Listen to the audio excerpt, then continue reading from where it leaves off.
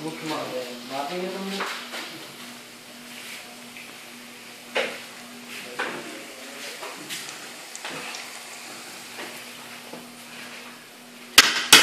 ये क्या है?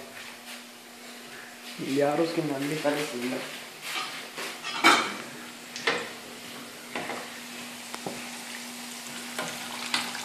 पकौड़े तो देखो आलू अलग अलग तैर रहे हैं।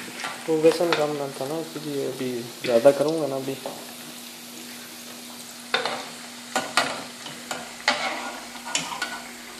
इधर से पेट पकड़ना भी। उधर प्लेट पकड़ के।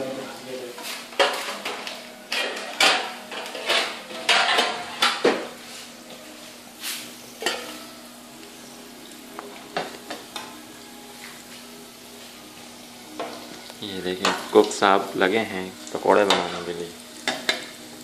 स्पेशल किस्म के पकोड़े हैं।